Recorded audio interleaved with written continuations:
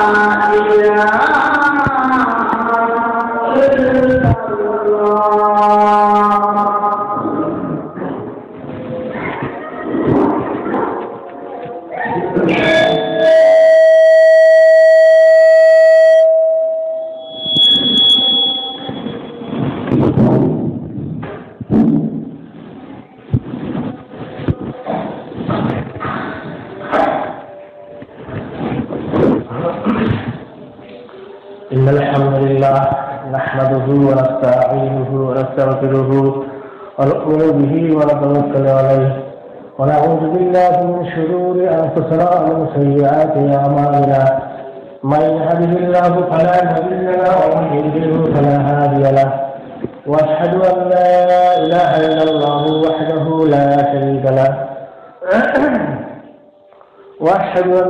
محمدا عبده ورسوله.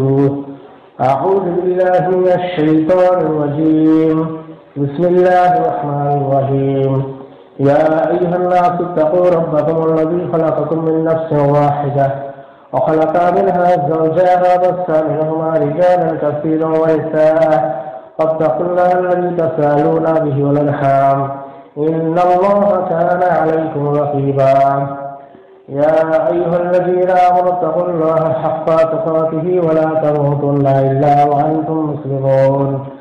يا أيها الذين آمنوا اتقوا الله وقولوا قولا سديدا.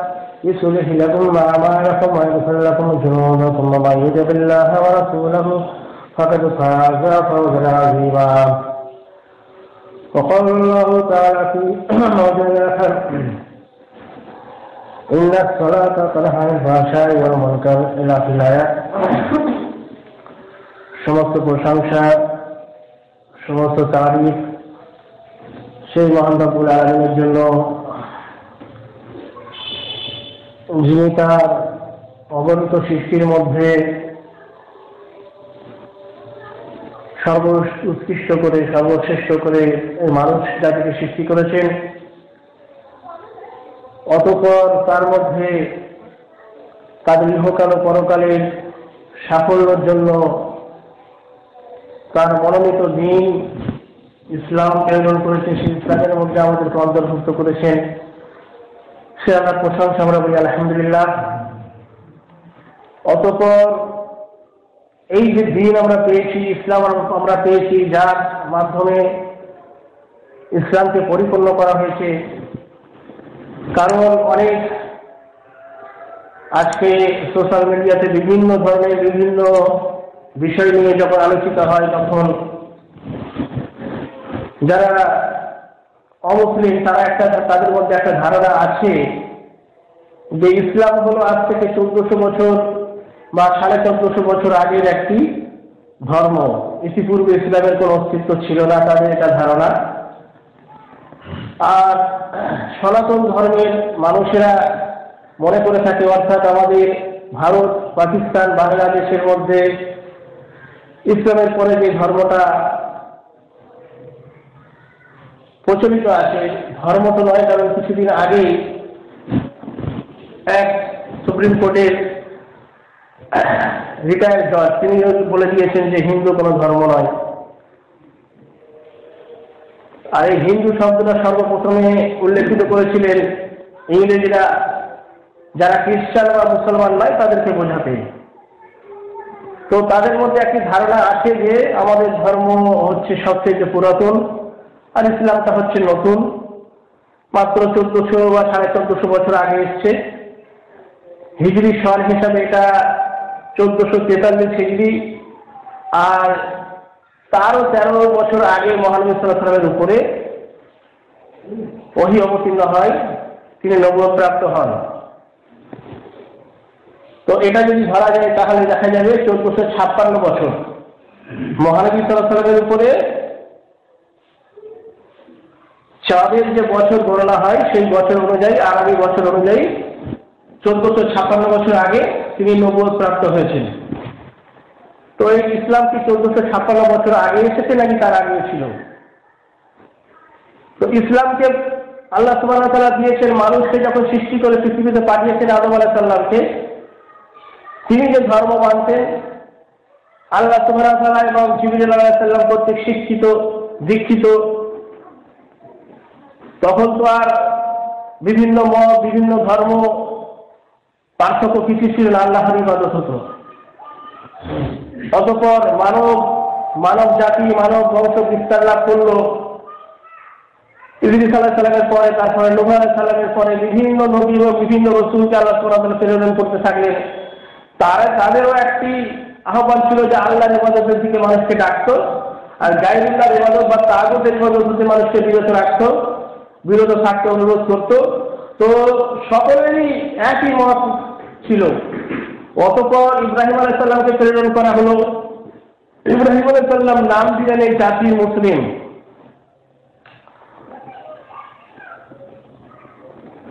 যারা ইব্রাহিম আলাইসাল্লামের পূর্বে আল্লাহর ইবাদত করতো সেই পথে চলতো, আল্লাহ সুবাহ বিভিন্ন নবী এবং বিভিন্ন জাতিকে যে প্রেরণ করেছিলেন, সেই পথ, সেই মত অনুযায়ী চলতো, তারাও মুসলিম। আর ইব্রাহিম আলাইসাল্লামের পরেও পৃথিবীতে বিভিন্ন নবী বিভিন্ন রসুল যারা আসবে, যারা আল্লাহ ইবাদত করবে, তাদের নাম মুসলিম বলে ইব্রাহিম আলাইসাল্লাম গণ্য করে দিলেন, ঘোষিত করে দিলেন। তাহলে মুসলিম যারা, আনুগত্যশীল যারা, তারা ইসলাম ধর্মের অনুসারী।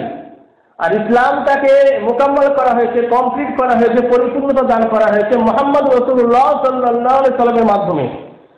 তো সেই শেষ নবী আহমদ মুস্তফা, মোহাম্মদ মুস্তফা সাল্লাম তার পরিবারের উপর অবতীর্ণ হোক অসংখ্য দরুদ সালাম। আল্লাহ আলাই আল্লাহ বারিক আলাই। তার এখান থেকে বোঝা গেল যে ইসলাম কোনো নতুন ধর্ম নয়। আজ থেকে চোদ্দশো ছাপান্ন বছর আগে আগত পৃথিবীর মধ্যে নতুন কোনো কিছু নয় বরং এটা আদম আলাই সাল্লাম থেকে ছিল। মোহাম্মদ রসুল্লাহ সাল্লামের মাধ্যমে এটাকে পরিপূর্ণতা দান করা হয়েছে। তো আমি ও বিষয়ে যাচ্ছি না। যে আয়াত আমি পাঠ করেছি।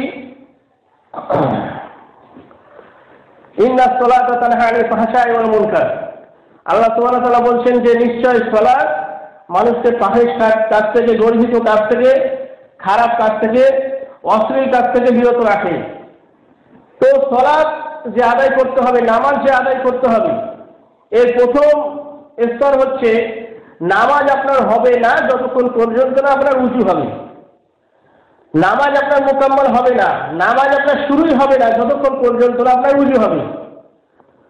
তো আল্লাহ সুবাহ তারা এই বিষয়ে সুরা মায়েরা পাঁচ নম্বর পাঁচ নম্বর ছয় নম্বর আয়াত আল্লাহ সুবাহ উল্লেখ করে দিয়েছেন, ইয়া আইহাল্লাযিনা আমানু ইযা কুনতুম ইলা সলাতি ফাগসিলু ওয়ুজুহাকুম ওয়া আইদিকুম ইলাল মারাফিক ওয়ামসুহু রুউসাকুম ওয়া আরজুলাকুম ইলাল কাবাইনি। হে ঈমানদারগণ তোমরা যখন নামাজের জন্য প্রস্তুত, প্রস্তুতি নেবে, তখন তোমরা নিজেদের মুখমণ্ডল ধুয়ে নেবে, নিজেদের হাতগুলো কবজি পর্যন্ত ধুয়ে নেবে অতপর কনুই পর্যন্ত ধুয়ে নেবে এবং নিজেদের মাথাকে মাথা করবে আর পা টাকলু পর্যন্ত ধৌত করবে। তো আল্লাহ সুবহানাহু তাআলা এর মাধ্যমে নামাজে প্রবেশ করতে গেলে যে উজু করতে হবে, এটা ঘোষণা করে দিলেন। এখন সে উজু করবে কেমন করে? আল্লাহ সুবহানাহু তারা যেহেতু স্পষ্ট করে পবিত্র কোরআনের মধ্যে অনেক কিছু বলেননি, বর্তমানে একটি দল বের হয়েছে,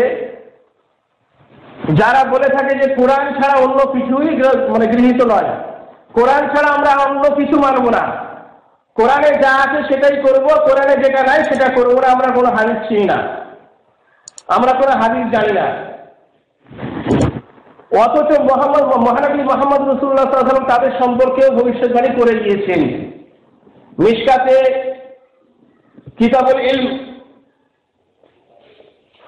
দ্বিতীয় অধ্যায়ে হাদিস বর্ণিত রয়েছে, মহানবী সাল্লাম বলেছেন, এমন এক সময় আসবে যখন কিছু মানুষ তাদের চেয়ারে, তাদের কুর্সিতে বসে হেলান দিয়ে পায়ের উপরে পা তুলেই ঘোষণা করবে যে আমরা আর কোনো কিছু চিনি না। আমাদের আমাদের কাছে শুধু আল্লাহর কিতাব নিয়ে আসো। আল্লাহর কিতাব ছাড়া আমরা কোনো কিছু চিনব না। আল্লাহর কিতাবে যা কিছু পাবো সেগুলোই মানবো। আল্লাহর কিতাবের মধ্যে, কোরআনের মধ্যে যা কিছু পাবো না সেগুলোকে মানবো না। অথচ আমি মোহাম্মদ রসুল্লাহ সাল্লাম আল্লাহর কিতাব অনুযায়ী তার আদেশকে বিস্তারিতভাবে তোমাদের কাছে বর্ণনা করেছি। আল্লাহর আদেশ অনুযায়ী আমল করে তোমাদেরকে দেখিয়েছি। আল্লাহর আদেশ অনুযায়ী আমি তোমাদেরকে অনেক কিছু নিষেধ করেছি। আল্লাহর আদেশ অনুযায়ী আমি তোমাদেরকে অনেক কিছু কাজ করার নির্দেশ প্রদান করেছি। এগুলো ইসলামের অন্তর্ভুক্ত, এগুলো শরীয়তের অন্তর্ভুক্ত। তাদেরকে যদি বলা হয় যারা ওই আহলে কোরআন, যে এক রাকাত নামাজ পড়ে দেখাও কোরআন অনুযায়ী দেখাতে পারবে না। অথচ তারাও নামাজ পড়তে গিয়ে যেগুলো করতে গিয়ে সেগুলো হাদিসের সাথে সম্পর্কিত। প্রথম হচ্ছে কোরআন। কোরআনটা সজ্জিত হয়েছে হাদিস দ্বারা। কোরআনের অস্তিত্ব খুঁজেই পাওয়া যেত না যদি হাদিস না থাকতো। আল্লাহ সুবাহ যেটা আয়াত সর্বপ্রথম প্রথম অবতীর্ণ করেছেন রব্বিকাল্লাদি খোলা সেটা হচ্ছে আটানব্বই নম্বর সুরা। অথচ সর্বপ্রথম অবতীর্ণ হয়েছে, তাহলে আটানব্বই নম্বরে গেল কি করে? কার নির্দেশে গেল? কীভাবে গেল? তাই কোরআনকে হাদিস যদি উধাও করে দেওয়া যায়, তাহলে কোরআনের কোনো অস্তিত্ব পাওয়া যাবে না। প্রথমে আল্লাহ রসুল সাল্লাম হাদিস লিখতে নিষেধ করেছিলেন। কারণ তখন ওহি অবতীর্ণ হচ্ছিল। কিছু সাহাবাহিকেরা প্রায় কুড়ি জন বা ছাব্বিশ জন সাহাব সাহাবেকরা আল্লাহ রসুল সাল্লামের সঙ্গে সর্ব সময় থাকতেন। যখনই আল্লাহ সুবাহ তালার কোনো আয়াত, কোনো সুরার আয়াত অবতীর্ণ হতো, তিনি সেগুলোকে তাদেরকে বলতেন। কেউ চামড়ায় লিখত, কেউ পাথরে লিখত, কেউ সেটা মুখস্থ করে নিত। তো আল্লাহ রসুল সাল্লামের কাছে বিভিন্ন মশলা মাসাইল যখন আলোচিত হতো, আল্লাহ রসুল সাল্লাম লিখতে নিষেধ করতেন এই জন্য যে, হয়তো কোরআনের সঙ্গে হাদিসের সংমিশ্রণ হয়ে যাবে। কোরআন লিখছে, অতপর যদি হাদিস লেখে, তাহলে কি হবে? কোরআন এবং হাদিসের সঙ্গে পরবর্তীকালে মিশে না যায়, যার জন্য তিনি নিষেধ করেছিলেন। কিন্তু পরবর্তীকালে যখন প্রায় কোরআন সম্পন্ন হয়ে এলো, তখন তিনি বলে দিয়েছিলেন যে, তোমরা আমার কথা লিখতে পারো, কারণ এই মুখ থেকে যা কিছু বের হয়, সেটা সত্য। এই মুখ থেকে সত্য ছাড়া মিথ্যা কোনোদিন বের হয় না। আর আল্লাহ সুবাহ সুরা নাজমেতে পরিষ্কার করে দিলেন যে অমায়ানসে করে হাওয়া ইনহুয়া ইল্লা ওহাই ইউহা সে মোহাম্মদ সাল্লাম যা কিছু বলে, যা কিছু করে, সেটা তার নিজের কথা না, নিজের মত না, আল্লাহ সুবাহ তালার পক্ষ থেকে ওহি করা হয় তবে কিন্তু সেটা বলেন আর সবচেয়ে বড় একটা প্রমাণ রয়েছে, কয়েকটা প্রমাণ রয়েছে। যে হাদিস হচ্ছে আল্লাহর বাণী। একদিন মহানবী সাল্লামকে জিজ্ঞেস করা হয়েছিল একটা ইয়াহুদির মাধ্যমে, হে আল্লাহ রসুল, আপনি বলুন তো যে পৃথিবীর অনেক ধরনের কথার মাধ্যমে তারা আল্লাহ রসুল সাল্লামকে পরীক্ষা করতেন যে এটা প্রকৃত আল্লাহর নবী কিনা। কারণ ইয়াহুদিদের কিতাবের মধ্যে, নাসারাদের কিতাবের মধ্যে আল্লাহ রসুল সাল্লামের বিভিন্ন চিহ্ন এসেছিল যে তিনি এই এইভাবে হবেন, তিনি এই বলবেন, তিনি এই করবেন। আল্লাহ রসুলকে জিজ্ঞেস করা হয়েছিল, পৃথিবীর উৎকৃষ্ট স্থান কোনটা আর সবচেয়ে নিকৃষ্ট স্থান কোনটা? আল্লাহ রসুল সাল্লাম বলতে পারেননি। বলেননি। কারণ আল্লাহর বাড়া হয়নি। আল্লাহর পক্ষ থেকে তখন তার কাছে জ্ঞান ছিল না। তখন জিবির আলাহ সাল্লাম তার কাছে এলেন। জিবির আলাহ সাল্লামকে তিনি জিজ্ঞেস করলেন, হে জিব্রাইল, এই ব্যক্তি জিজ্ঞেস করছে যে আল্লাহ এই জমিনের মধ্যে সর্বোৎকৃষ্ট স্থান কোনটা, সর্বনিকৃষ্ট স্থান কোনটা? জিবির আলাহ সাল্লাম বললেন, আমারও জানা নেই। অতঃপর তিনি ফিরে গেলেন। আল্লাহর কাছে তার কাছ থেকে ফিরে এসে বললেন, আল্লাহ সুহানাতলার নিকট হবে আমি এইমাত্র জেনে এলাম। পৃথিবীর সর্বোৎকৃষ্ট হচ্ছে যেখানে আল্লাহর ইবাদত করা হয় সেই মসজিদ সমূহ আর সর্বনিকৃষ্ট স্থান হচ্ছে বাজার সমূহ আল্লাহ রসুল সাল্লাম সেই ব্যক্তিকে ডেকে বলে দিলেন। তো বিষয় হচ্ছে, কোরআনের ব্যাখ্যা পৌঁছে হিসেবে হাদিস। তো আল্লাহ সুবাহ তালা বললেন যে উজু করতে হবে, এখন কীভাবে উজু করা হবে? আল্লাহ সুবাহ তালা পরিষ্কার বলে দিয়েছেন এরকম তোমাদের জন্য সর্বোত্তম নমুনা রয়েছে মোহাম্মদ সাল্লাহ সাল্লামের মধ্যে, ইমানদারদের জন্য। তো উজু করা সম্পর্কে বিভিন্ন হাদিস এসছে। তো সেই হাদিসগুলো সারমর্ম যদি ধরা হয়, তাহলে দেখা যাচ্ছে যে বর্তমানে অনেক ব্যক্তি উজু করে আমাদের মধ্যে হারুল হাদিসের মধ্যেও ভুল ত্রুটি আছে। ভুল ত্রুটি আছে। আর আমাদের মাঝারি ভাইরা যে উজু করে, তার মধ্যে বিরাট আছে। উজু করার পূর্বে কোনো দোয়া নেই, অথচ উজু করার পূর্বেও প্রচলিত মাঝাবের মধ্যে বিভিন্ন ধোঁয়া বর্ণিত আছে। উজুর শুরুতে কেবল মাত্র বলতে হবে কি? বিসমিল্লাহ। অথচ অনেকে বিসমিল্লাহ রহমান রাহিম সহ আরও দোয়া বর্ণনা করে। যেখানে বিসমিল্লাহ রহমান রাহিম বলতে হবে, কোনখানে? যখন আপনি কোরআন তেলাবাদ করবেন। কোরআন তিলাবাত করতে গেলে পরে যখন আপনার কোন সুরার প্রথম থেকে পড়বেন, সেখানে আপনি বিসমিল্লাহ রহমান রাহিম বলবেন। এছাড়া অন্য অন্য জায়গায় খাওয়ার শুরুতেও বিসমিল্লাহ, কেবল বিসমিল্লাহ। উজুর শুরু শুরুতেও বিসমিল্লা বিসমিল্লা বলে আপনি উজু শুরু করবেন, তারপরে আর কোনো দোয়া নেই। যতক্ষণ না উজু সম্পন্ন হচ্ছে। কিন্তু দেখা যায়, হাত ধুতে গেলে পরে কবজি পর্যন্ত দোয়া কুলি করার দোয়া মুখমন্ড ধোয়ার আলাদা ধোয়া কলুই পর্যন্ত ধোয়ার আলাদা ধোয়া, আবার মাথা মাথা করার দোয়া তারপরে যেটা বিদাত জয়ীফ এবং চাল হাদিস, অনেক কটা হাদিস আছে, কিন্তু সব কটা হাদিস জয়ীফ এবং জাল গরগার মাথা করার দোয়া এগুলো সবই হচ্ছে জয়ীফ এবং জাল হাদিস। তো উজু করতে আপনাকে শুরু করতে হবে বিসমিল্লা বলে। আর উজুর প্রত্যেকটি অঙ্গ আপনাকে তিনবার ধুতে হবে। একবার ধুলে যদি আপনার ওই অঙ্গটা ভিজে যায়, দ্বিতীয়বার যদি মনে করেন ধুবো না, কোনো প্রয়োজন নাই। কিন্তু যতবার ধুবেন কি হবে প্রত্যেক ব্যক্তি যখন উজু শুরু করে, আর উজু শেষ পর্যন্ত তার, প্রথমে হাতের কবজি পর্যন্ত তিনবার ধুলেন, ওই হাতের দ্বারা, ওই কবজির দ্বারা, ওই আঙুলের দ্বারা কোনো যদি পাপ হয়ে থাকে, উজু করার সঙ্গে সঙ্গে আপনার পাপগুলো ঝরে যাচ্ছে। আপনি যতবার ধুবেন তত ততবার তত পানি বয়ে যাবে, তত আপনার গোনা ধরে যাবে। কিন্তু তিনবারের বেশি করা যাবে না। আপনি একবার ধুতে পারেন, দুবার ধুতে পারেন, তিনবার ধুতে পারেন, কিন্তু চতুর্থবার করা যাবে না। আল্লাহ রসুল সরকার বলছেন, যে ব্যক্তি তিনবারের বেশি ধুলো, সে সীমা লঙ্ঘন করল। তো শরীয়তের একটা সীমা আছে, নির্দিষ্ট সীমা আছে। তো সেটা হচ্ছে তিনবারের বেশি উঁচুতে কোনো অঙ্গ ধোয়া যাবে না। এবারে হাত দুটো কবজি পর্যন্ত ধুয়ে নিলেন, তারপরে আহারে হাদিসদের মধ্যে যেটা ভুল, সেটা হচ্ছে প্রত্যেকটা হাদিস, যত হাদিস খুঁজবেন আপনি, যত উজুর হাদিস আছে, প্রত্যেক হাদিসের মধ্যে আছে এক অঞ্জলি পানি নিয়ে কুড়ি করাও তাকে দেওয়া। কোন হাদিসের মধ্যে এই কথা নাই যে এক মুঠি পুষ্টি পানি নেবেন তিনবার কুল্লি করবেন তারপরে কুলি করা হয়ে যাবে, তারপরে পানি নিয়ে নাকে দিয়ে নাক খাবেন হাদিস খুঁজে পাওয়া যাবে না।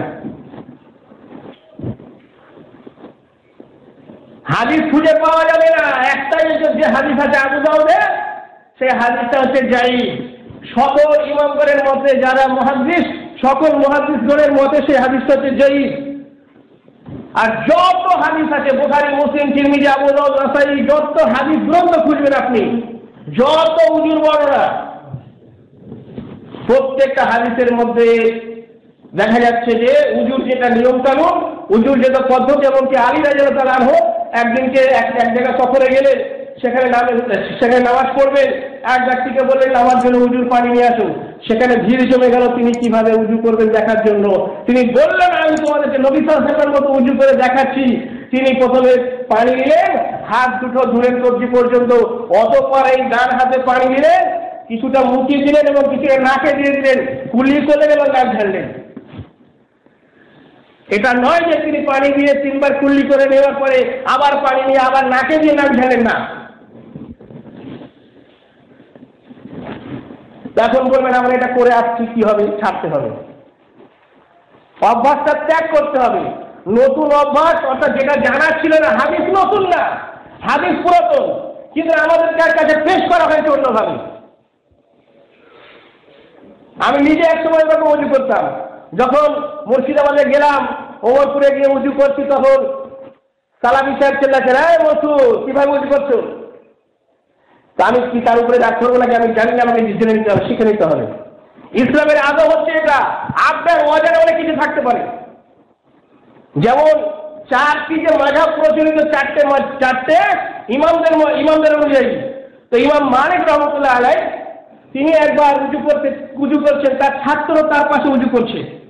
তার ছাত্র তার পাশে উজু করতে গিয়ে কি করছেন? ডান হাত দিয়ে পায়ে পানি দিচ্ছেন আর বাম হাত দিয়ে যখন রগড়াচ্ছেন, তখন করে আঙুল দিয়ে প্রত্যেকটা আঙুলের মাঝে পায়ের আঙুলের মাঝে দিয়ে খেলার করছেন। তখন তার উত্তর বলছে, এই, তুমি এদিকে এটা কি করছ? বলছে, আমি হাদিস শুনেছি, সেই সূত্রে যে আল্লাহ রসুল সাল্লাম এরকম ভাবে উজু করতেন। তিনি হাদিসের বর্ণনা করলেন, প্রমাণ দিলেন, সেই হাদিস মেনে নিলে শাস্ত্রের কথা উস্তাদ মেনে নিচ্ছে। তাহলে যেটা আমাদের জানা নেই, যখন আমাদের সম্মুখে সেটা পেশ হবে, সেটাকে মেনে নিতে হবে আর যেটা করতাম হাদিস অনুযায়ী হয়তো- হচ্ছে না, সেটাকে পরিত্যাগ করতে হবে। একটা অভ্যাস হয়ে গেছে, সেই অভ্যাসকে ত্যাগ করতে আর ঠিক তেমনি অভ্যাস গড়ে তুলতে দেরি হবে অবশ্য। অসুবিধা হবে, কিন্তু আপনি অভ্যাস যদি গড়ে তোলেন, অভ্যাস হয়ে যাবে। তো উজু করতে গেলে আপনি যখন কুলি করবেন, তখন এক হাত পানি নেবেন, ডান হাতে অর্ধেকটা মুখে দেবেন, অর্ধেকটা নাকে দিয়ে টানবেন, কুলি করে নেবেন, নাক ছাড়বেন তিনবার। তারপরে আপনার দুই হাত ভরে পানি নেবেন মুখমণ্ডল ভালোভাবে ধৌত করতে হবে। তারপরে ডান হাত এবং বাম হাত কড়ি পর্যন্ত ধুতে হবে। এবারে আসা যাক মাথা করতে হবে। অনেকে কি করে? এই করল ছেড়ে দিল। যখন মাথা করতে হবে চুলের যে যেখান থেকে শুরু, কবরের চুল থেকে শুরু আপনাকে সম্পূর্ণ নিয়ে যেতে হবে। গর্দানে যেখানে আপনার চুল শেষ, সেই পর্যন্ত নিয়ে গিয়ে আবার ফিরিয়ে আনতে হবে সম্পূর্ণ কপাল পর্যন্ত। চুলেতে স্পর্শ করে এমনকি নয় যে চুল, চুলের উপর দিয়ে আপনি করলেন চুলটা খারাপ হয়ে যাবে। আস্তে করে করলেন, না। চুলের তো স্পর্শ করে টাচ করে নিয়ে যেতে হবে, আবার পুরো নিয়ে আসতে হবে। তারপরে আপনাকে কান মাথা করতে হবে, আঙুল ঢুকিয়ে দিলে বৃদ্ধাঙ্গুলে দিয়ে মাথা করতে হবে কান। এর জন্য আলাদা পানির প্রয়োজন নাই। একবার পানি নিয়ে হাতে হাতটা ভিজিয়ে দিয়ে মাথা মাথা করে এবং কান মাথা করবেন। তারপরে আপনার ডান পা ধুতে হবে, তারপরে বাম পা ধুতে হবে, ডান হাত দিয়ে পানি দেবেন বাম হাত দিয়ে রগড়াতে হবে। আর রগড়াবার সময় যেটা বললাম, যে ইমাম মালিক রহমতুল্লাহ ছাত্র সহিদ সূত্রে হাজির বর্ণনা করলেন যে এই বাম হাতে করে আঙুল দিয়ে আপনাকে প্রত্যেকটা পায়ের যে আঙুল, আঙুলের ফাঁক রয়েছে সেখানে খেলাল করতে হবে, পানি যাতে পৌঁছে যায়। এইভাবে আপনার রুটি সম্পন্ন করতে হবে। তারপরে আবার একটা রীতি রয়েছে। সেই হাদিস দ্বারা প্রমাণিত, আবু দাউদে হাদিস আছে সাহিবনে খুজাইমাতে হাদিস আছে, যে যাদের দাড়ি মাছের মুখেতে মুখেতে দাড়ি রাখা পুরুষের জন্য ওয়াজিব, তো মুখমণ্ডল ধোয়ার পরে আল্লাহ রসুল সাল্লাম কিছুটা পানি নিতেন দাড়িতে দিতেন দাড়িতে দিয়ে সম্পূর্ণভাবে ভালোভাবে খেয়াল করতেন, যাতে দাড়ির ভিতরেও পানি প্রবেশ করে যায়। এটা আপনার তিনবার মুখমণ্ডল ধুয়ে নিলেন, তারপরে আপনার দাড়িতে ভালোভাবে একবার হাত ভর্তি পানি নিয়ে দিতে হবে, ভালো করে খেলাল করে নিতে হবে। তো এটা হচ্ছে উজুর নিয়ম। আর আমাদের মাঝারি ভাইদের মধ্যে যেটা বিদাত রয়েছে, সেটা হচ্ছে ওই আপনার মাথা মাথা করার পরে, কান মাথা করার পরে, ওই দুই হাত দিয়ে গরগরকে এরকম করে মাথা করে নেয়। তো এটা আছে হাদিসের মধ্যে। কিন্তু সেই হাদিসগুলো, চারখানা হাদিস আছে, সেই হাদিসগুলোর প্রত্যেকটা হাদিসের মধ্যে রাবিরা হলো মিথ্যুক নয়নে তাদের স্মৃতিশক্তি দুর্বল নয়নে তাদের চরিত্রের মধ্যে দোষ রয়েছে। অর্থাৎ এই রূপ এই রূপ ব্যক্তি যে হাদিসের মধ্যে থাকে সেই হাদিস গ্রহণযোগ্য নয়। তাহলে উজু আপনাকে ভালোভাবে করতে হবে। উজু করার পরে দোয়া রয়েছে। উজু করতে করতে প্রত্যেক অঙ্গ ধোয়ার সময় ধোয়া নাই। এই জন্য বলে দেওয়া হলো যাতে উজুটা হচ্ছে নামাজের জন্য জরুরি। নামাজ উজু ছাড়া হবে না। উজু ছাড়া আপনার নামাজ হবে না। এমনকি আপনার যদি ফরজ গোসলের প্রয়োজন হয়, সেখানে উজু ছাড়া আপনার ফরজ গোসল হবে না। প্রথমে উজু, প্রথমে অঙ্গ প্রথমে ভালো করে ধুয়ে নিতে হবে গুপ্ত ধুতে হবে, তারপর উজু করতে হবে, তবে আপনার ফরজ গোসল হবে। তো উজুর নিয়ন্ত্রণ আমাদেরকে জানতে হবে এবং সঠিকভাবে পালন করতে হবে, কারণ উজু যদি আপনার সঠিক না হয়, রসুল সাল্লামের মতো যদি উজু না হয়, তাহলে আপনার নামাজি হবে না। তো উজু আপনাকে ভালোভাবে করতে হবে। এবার উজুর পরে রয়েছে দোয়া, আশহাদু আল্লাহ ইলাহা ইল্লাল্লাহু ওয়াহদাহু লা শারীকা লাহু ওয়া আশহাদু আন্না মুহাম্মাদান আবদুহু ওয়া রাসূলুহু। তাই মুসলিমের হাদিস। কিন্তু এর পরে একটা দোয়া রয়েছে, আল্লাহুম্মা জাআলনি মিনাত তাওয়াবিন ওয়া জাআলনি মিনাল মুতাত্তাহিরিন। এই দোয়াটা নিয়ে মতভেদ আছে।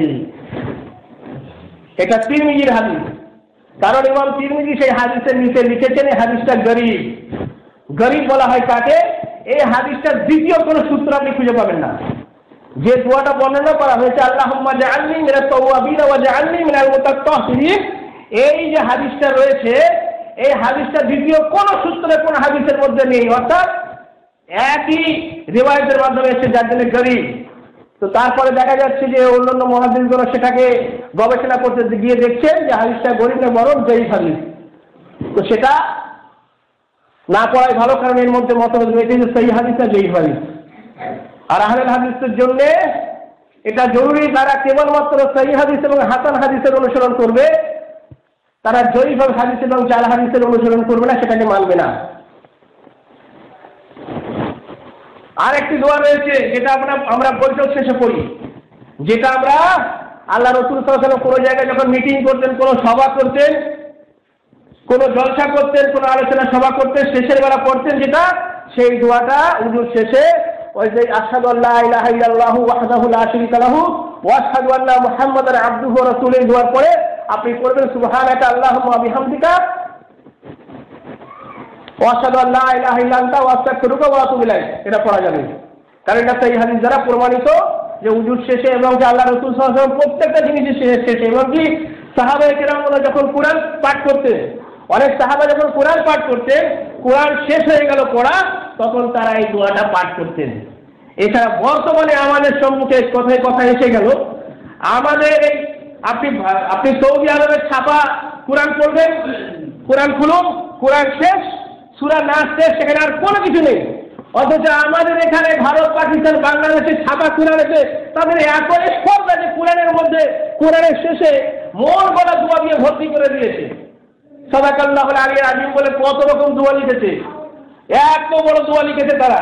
তারপরে আবার লিখছে যে, খাতমি কোরআনী দোয়া। এটা হলো কোরআন খতমের দোয়া। পেল কোথায়? দলিল কোথায় পেল? কোন হাদিসের মধ্যে আছে? কোন হাদিসের মধ্যে পাওয়া যায় না সেটা? অথচ সেটা কোরআনের মধ্যে কোরআন শেষে দ্বারা লিখে দেওয়া হয়েছে, এটা খাতমে কোরআনের দোয়া। তো আল্লাহর কোরআন সেখানেও নিজেদের মন গড়া চালিয়ে দিচ্ছে। কোরআনের শেষে যে এটা এটা কোরআন খতমের দোয়া অথচ সেটা হাদিস দ্বারা প্রমাণিত নয়। তারপর তারপরে আপনি সেখানকার কোরআনে আপনি রুকু পাবেন না, এদের কোরআনে রুকু পাবেন। মূল কোরআনে আপনি রুকু পাবেন না এখানে এই কোরআনে রুকু পাবেন। রুকুটা ওদের দ্বারা সৃষ্টি করা হয়েছিল যে একটা করে রুকু করব, এক রেখাত করে তারাবির নামাজ পড়ব কুড়ি কুড়ি রেখাত করে তো এটা সৃষ্টি করা হয়েছে কোথায়? কোরআনের মধ্যে ঢোকানো হয়েছে কোথা থেকে? কুফা থেকে, ইরাক থেকে। আর ইরাক সম্পর্কে বড় বড় গবেষকরা বলে দিয়েছেন, আল্লাহ রসুল সাল্লামের কোন হাদিস যখন ঢোকে ইরাকের মধ্যে এক বিধক ইরাক থেকে যখন বের হয়, তার মধ্যে সংযোজন বিয়োজন হয়ে এত বড় হয়ে যায়, এক এক কমি পর্যন্ত হয়ে যায়, এক হাত হয়ে যায়। তো আমাদেরকে সঠিক নিয়ম জানতে হবে। উজু যখন করব, আমাদের সঠিকভাবে উজু করতে হবে। উজুর শুরুতে বিসমিল্লা বলতে হবে। আর যেটা আমাদের অভ্যাস আছে, সেই অভ্যাসে একবারে পানি নিয়ে তিনবার কুল্লি করব, তারপরে পানি নিয়ে তিনবার নাক ঝাড়বো, এই অভ্যাসটা ছাড়তে হবে। একবারে পানি নিয়ে মুখে টানতে হবে এবং নাকে দিয়ে কুলি করতে হবে এবং নাক ঝাড়তে হবে। তিনবার করে করা যাবে, তিনবার বেশি হবে সীমালঙ্ঘন। যদি আপনার মনে হয় একবার আমার অঙ্গটা ভিজে গেছে দ্বিতীয়বারে প্রয়োজন নাই। দ্বিতীয়বারে ভিজে গেছে, আপনার তৃতীয়বারের প্রয়োজন নাই। তো তৃতীয়বার করলে আপনার যত উজুর অঙ্গ ধুয়ে পানি পড়বে তত আপনার গোড়া ঝরে পড়বেই। তারপরে একটা জিনিস, আল্লাহ রসুল সফরে আছেন, সেখানে একটু পানির কমি ছিল। পানির কমির জন্য কেউ উজু করতে পারছে না, যত এ বিষয় ইনশাল্লাহ পরে হবে আলোচনা। তো ইতিমধ্যে পানি পাওয়া গেল, সবাই উজু করছে। তো আল্লাহ রসুল সরাসরি লক্ষ্য করলেন কিছু ব্যক্তিকে, যে তারা যখন পাটা ধুচ্ছে পরিপূর্ণ ভিজছে না। গোড়ালি শুকনো রয়ে যাচ্ছে তখন আল্লাহ রসুল সাল্লাম সহজরে ঘোষণা করলে হ্যাঁ ব্যক্তিরা, শোনো! ওই শুকনো গোড়ালির জন্য জাহান নামের আজাব রয়েছে। তো যখন আমাদের গোড়ালিটা ধুতে হবে, পা যখন ধুতে হবে, তখন পর্যন্ত ভালো করে ধুতে হবে যেন গোড়ালির সমেত পেছনে, বিশেষ করে শীতকালে দেখবেন পানি লেগে আবার গড়িয়ে যায়, অঙ্গগুলো শুকিয়ে যায়। ভালো করে রোগড়ে রোগড়ে ধুতে হবে যাতে উজুর অঙ্গগুলো সম্পূর্ণ ভেজে উজুর অঙ্গ যদি শুকনো থাকে, তাহলে আপনার উজু হবে না আর আপনার উজু না হলে আপনার নামাজ হবে না। তো উজুটাকে আমাদের ভালোভাবে শিখতে হবে এবং ভালোভাবে করতে হবে, যাতে আমরা যে নামাজটা পড়ছি সেটা ফলাফল আমরা পাই। কারণ আল্লাহ বলছেন, ইন্না সলাতা তানাহানের ভাষায় মুনকার। আল্লাহ বলছে যে, কোরআনে যে নামাজ মানুষকে অশ্লীল কাজ থেকে, খারাপ কাজ থেকে বিরত রাখে, অথচ নামাজিদের যারা সেগুলো ঘটে যাচ্ছে কারণ কারণ তাদের উজু হচ্ছে না, তাদের নামাজ হচ্ছে না, নামাজে ভালোভাবে মনোনিবেশ হচ্ছে না। তো এই বিষয়ে আমাদের সতর্কতা অবলম্বন করতে হবে। আল্লাহ তালা যেন সাহি হাবিস অনুযায়ী আমাদেরকে সম্পূর্ণ আমল করে সমাজ প্রদান করে।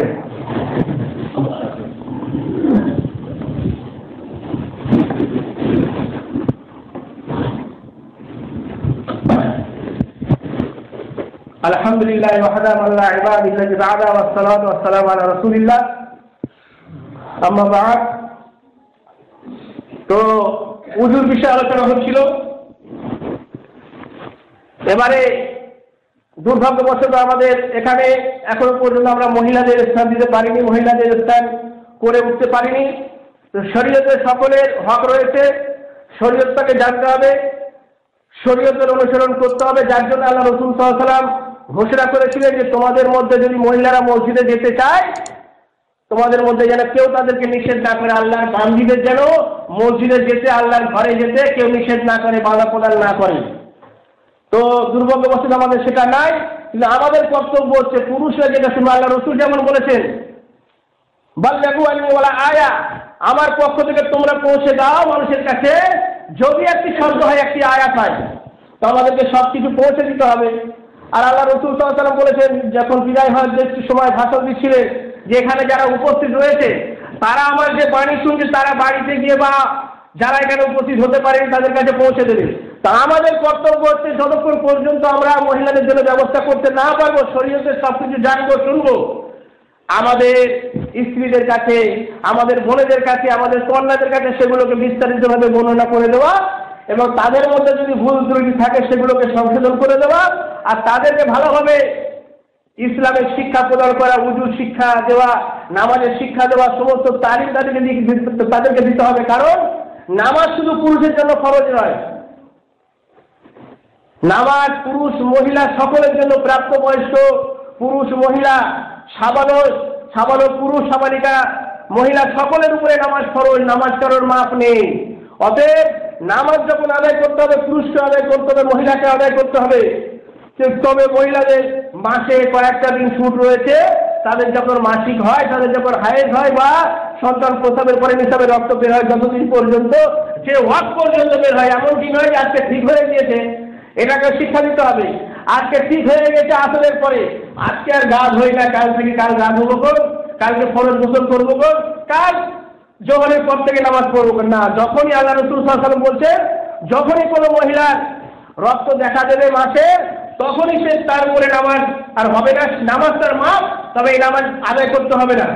আর যখনই তার রক্ত বন্ধ হবে, তখনই তাকে ফরজ গোসল করতে হবে এবং পরের রক্ত থেকে যদি সেই রক্ত থাকে বাকি, তাহলে সেই রক্তের নামাজ আদায় করতে হবে। যখনই রক্ত বন্ধ হয়ে যাবে, আমাদের মাঝাবী ভাইদের মধ্যে প্রচলিত আছে, সন্তান হবার পরে মহিলা চল্লিশ দিন নামাজ আদায় করবে না। আবার বলা হয় হাতুড়ে ঘর। ওই হাতুড়ে ঘরে সব কিছু না পাক এটা হচ্ছে কুসংস্কার, ইসলামের সঙ্গে কোনো সম্পর্ক নেই। একটা মহিলা চল্লিশ দিন পর্যন্ত রক্ত বের হতে পারে নিসাবের রক্ত কিন্তু তার আগে যদি সাত দিনে, দশ দিনে, বারো দিনে, পনেরো দিনে, যখনই বন্ধ হয়ে যাবে, তখনই তাকে ফরজ গোসল করতে হবে আর নামাজ শুরু করতে হবে। তো যেটা আমরা জানলাম যে উজু আমাদের করতে হবে, এবং উজু ভঙ্গের কারণগুলো আমরা সংক্ষেপে বলে দিচ্ছি, কারণ সময় সংক্ষেপ।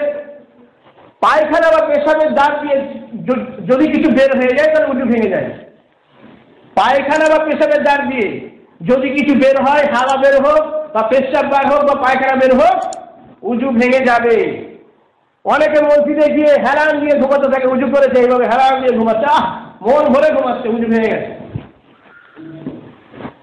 আপনি বসে বসে যদি তন্দ্রা যান, ঝিমিয়ে যান, ঘুমিয়ে যান, আপনার উঁচু ভাঙবে না, কিন্তু শুয়ে ঘুমাচ্ছেন বা হেলান দিয়ে আরামে ঘুমাচ্ছেন উঁচু ভেঙে গেছে, আপনাকে উঁচু করতে হবে, তবে নামাজ পড়তে হবে। আর আপনি যদি মনে করেন দেখেন উঁচু করে ঢুকেছি, ঘুমটা ভাঙলো, নামাজটা পড়ে নি না, ও নামাজ হবে না আপনার। যেহেতু উঁচু, নাই উজু ভেঙে গেছে। বিনা কাপড়ে বিনা কাপড়ে যদি লজ্জা স্থানে হাত লাগে সরাসরি, তাহলে উঁচু ভেঙে যাবে। আর আমাদের এখানে নাই তারপরে বলে দিই উজু হচ্ছে আপনার উটের গোস্ত খেলে পরে উজু ভেঙে যাবে। উটের গোস্ত রান্না করা হোক আর যেভাবে হোক, কষা হোক আর যাই হোক, উটের গোস্ত খেলে পরে উজু ভেঙে যায়। আল্লাহ রসুল সাল্লামকে জিজ্ঞেস করা হয়েছিল যে উটের গোস্ত খেলে উজু কেন ভেঙে যায়? এর হাদিস রয়েছে, তিনি বলছেন উটকে শয়তান থেকে সৃষ্টি করা হয়েছে, আর ওই উটের গোস্ত খেলে পরে হয়তো তোমার ভিতরে শয়তানের কোনো কিছু উদ্রেক হতে পারে, যার জন্য আবার উজু করা জরুরি। তো কয়েকটা কারণের মধ্যে বর্ণনা করা হলো যে যখন পেশাব বা পায়খানার ধার দিয়ে কিছু বের হয়ে যাবে, তখন উজু ভেঙে যাবে। হেলান দিয়ে বা শুয়ে ঘুমালে পরে উজু ভেঙে যাবে। বিনা কাপড়ে লজ্জাস্থানে হাত লাগলে পরে উঁচু ভেঙে যাবে, আর উঠে গোস খেলে পরে উঁচু ভেঙে যাবে, রক্ত বের হলে পরে উঁচু ভাঙবে না। অনেকের ধারণা হয় রমজান মাসে এগুলো বলা জরুরি ছিল, কিন্তু বলা হয়নি দুর্ভাগ্যবশত। রমজানের সময় বলে যে, এই করা যাবে না, তাই করা যাবে না।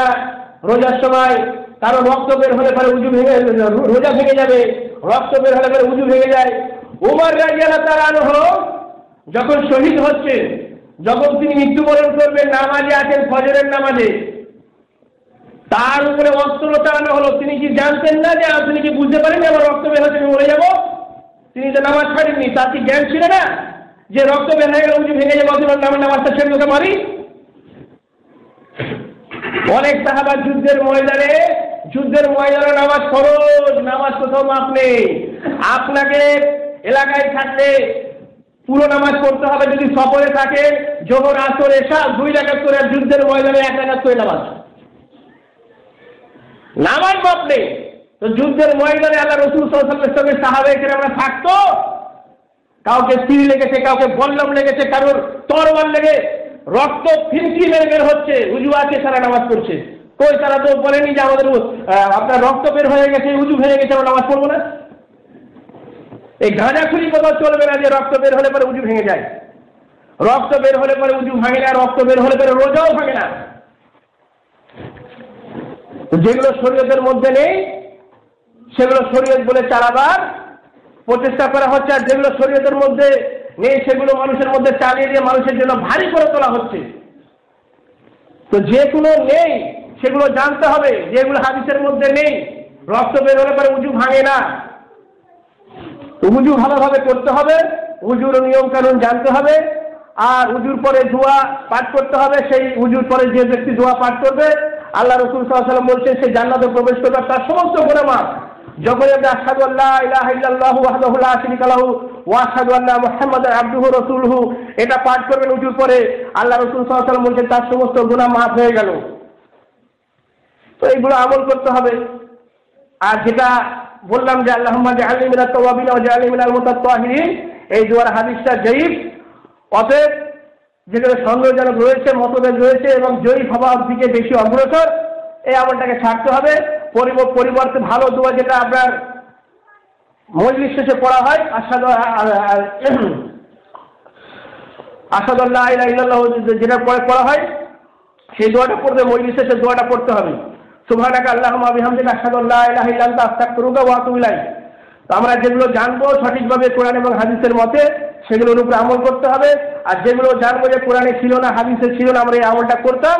সেগুলোকে আমাদের ত্যাগ করতে হবে আল্লাহ সুবহানাহু যেন মানে সুবহানাহু তাআলা যেন আমাদেরকে সঠিকের উপরে আমল করার সুমতি প্রদান করেন আমি ওয়াহু দাওয়ান আলহামদুলিল্লাহি রাব্বিল আলামিন ইন্নাল্লাহা ওয়া মালাইকাতাহু ইউসাল্লুনা আলান নবী ইয়া আইয়ুহাল্লাযীনা আমানু সাল্লু আলাইহি ওয়া সাল্লিমু তাসলিমা اللهم صل على محمد وعلى ال محمد كما صليت على ابراهيم وعلى ال ابراهيم انك حميد مجيد اللهم بارك على محمد وعلى ال محمد كما باركت على ابراهيم وعلى ال ابراهيم انك حميد مجيد ربنا تقبل منا إنك أنت السميع العليم وتب علينا إنك أنت التواب الرحيم. سبحان ربك رب العزة عما يصفون وسلام على المرسلين. والحمد لله رب العالمين.